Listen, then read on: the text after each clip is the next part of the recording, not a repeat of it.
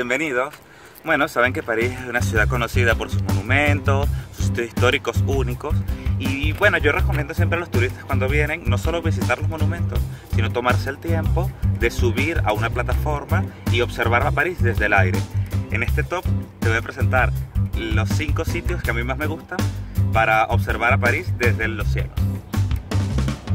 En el puesto número 5 tenemos la terraza de Galerías Lafayette. La Galerías Lafayette es una tienda por departamentos en la cual se encuentran regrupados en un solo espacio decenas de marcas de ropa, joyas y decoración.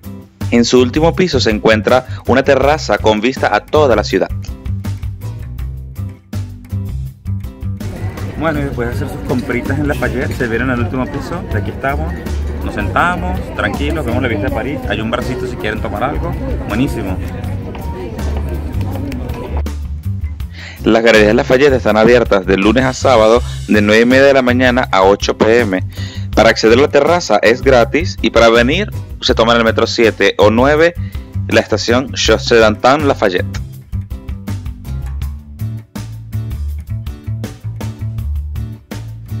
En cuarto lugar les presento la Torre San Jacques. Antes de ser una torre única, este fue el campanario de una iglesia que fue destruida en la Revolución Francesa. Luego de estar abandonada por casi un siglo, la ciudad de París adquirió la torre y le hizo el centro de un nuevo parque. Estamos listos para subir a la torre.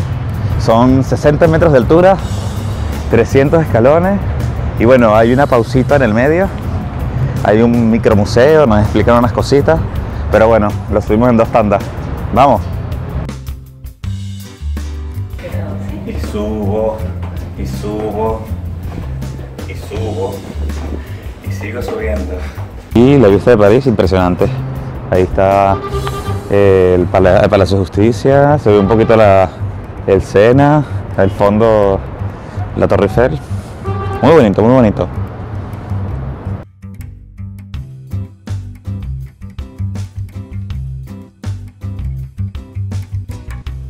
Para subir a la torre hay que reservar y solo está abierta del 20 de mayo al 25 de septiembre de cada año.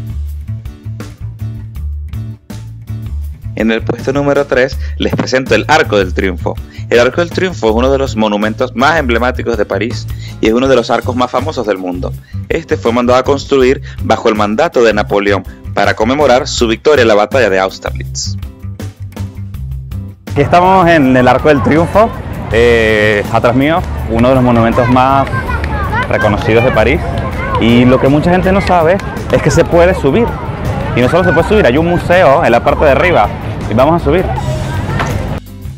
Y recuerden cruzar por el túnel que está en Champs-Élysées.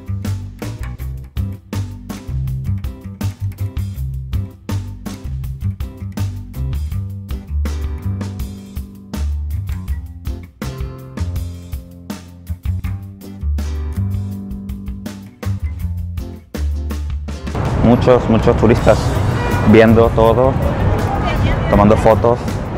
Y aquí estamos nosotros, explorando.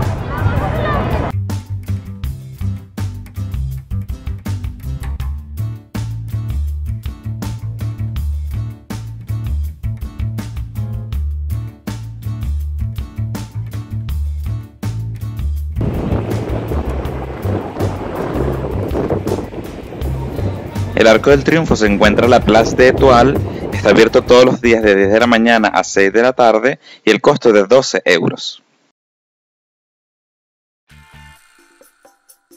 En el puesto número 2 les presento las torres de la Catedral de Notre Dame. Construida en el siglo XII, la catedral es bien conocida por ser una de las iglesias góticas más bellas y antiguas del mundo. Cuenta con dos torres de 69 metros de altura accesible al público. Empezando la subida, vamos a ver cuánto tiempo nos tardamos. Están empinadas, están empinadas, ¿ah?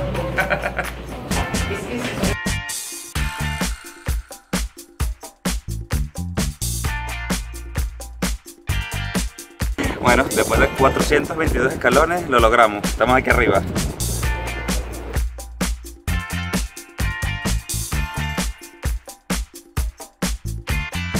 El acceso a las torres está abierto todos los días de 10 y media de la mañana a 6 de la tarde, cuesta 10 euros y para llegar al metro 4 los lleva hasta allá. Y la mejor vista de París es sin duda alguna la Torre Eiffel. Construida para la Exposición Universal de 1899, es el emblema más conocido de la capital. De una altura de 324 metros, la Torre Eiffel domina el paisaje urbano parisino. Y para subir hasta la cima de la torre, anticipen su visita. Yo les recomiendo reserven por internet su entrada. Ah, mucha cola, pero bueno. Vale la pena.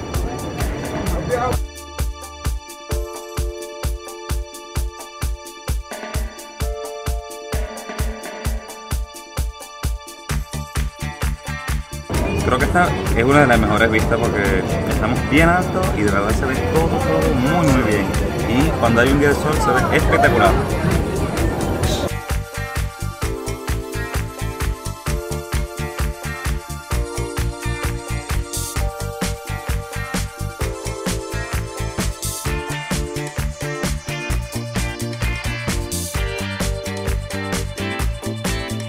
Bueno, llegan al segundo piso, se cambian de ascensor y esa es la cola para el tercer piso.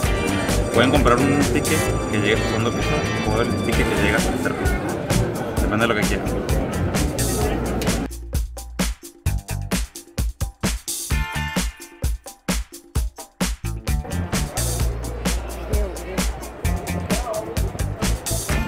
Para venir a la Torre Eiffel, el metro 6 o el metro 9 los trae.